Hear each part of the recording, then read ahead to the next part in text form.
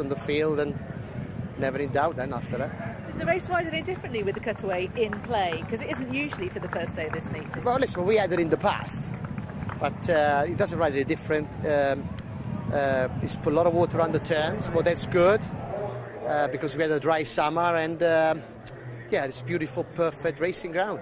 How are you feeling ahead of Kinross in the Lennox? Good. I mean, he's a solid horse. He's won the race last year.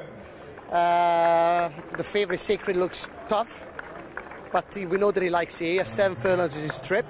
I'm looking forward to it. And how are you going to feel watching Stradivarius in the Goodwood Cup? I mean, it must be a bit of a wrench for you. No, I'm, I'm very positive. You know, I've had five great years. Uh, it's the horse that have won more group races than any other. Uh, I, I talked to Bjorn last week. Uh, wished him luck this morning. Now we've been the paddock watching him because it could be his last race. And uh, a bit of my heart is sad and he's gone, but I'm, I'm looking forward to see him run. Here, here. Congratulations, great start to the week. Thank you. Thank you.